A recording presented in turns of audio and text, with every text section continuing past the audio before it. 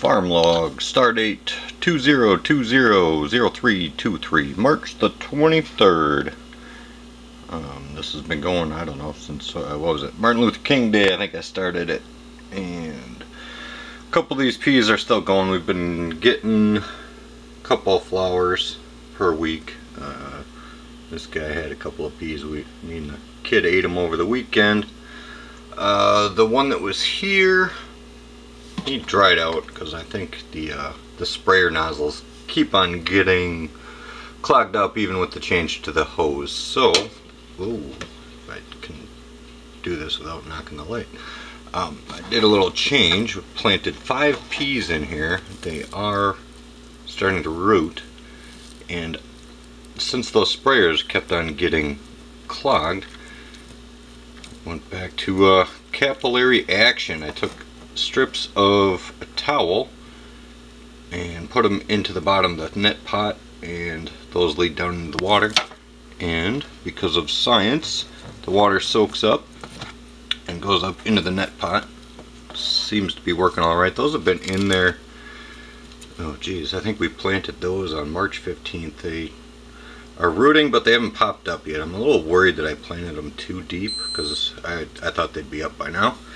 And then this one had dried out too, so just the other day I planted, I think some radishes in there. And the cucumbers, they did not climb the wall like I was hoping they would, so so much for the dream of having a leafy wall. But these guys are starting to flower.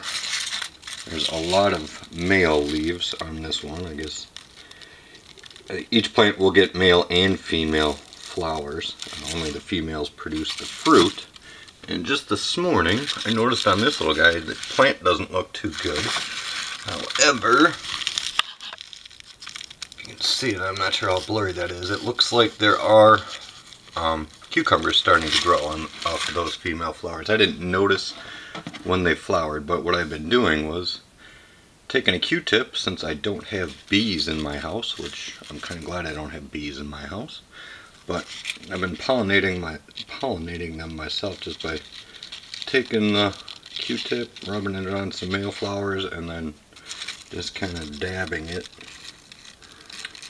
here and there. Hopefully I hit those female flowers over there that are starting to fruit.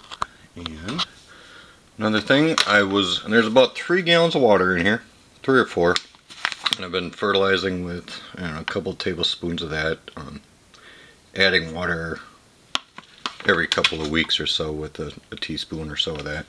But I was just thinking I'm going to switch to the the Max Bloom, the other one for when they start fruiting. I think I'm going to add a gallon of water with maybe a teaspoon of this in there. Uh, last summer I up burning a bunch of my plants because I over fertilized them. So I'm trying to be more careful to not over fertilize this year. But, yeah. That is where we're at with the indoor hydroponics as of today.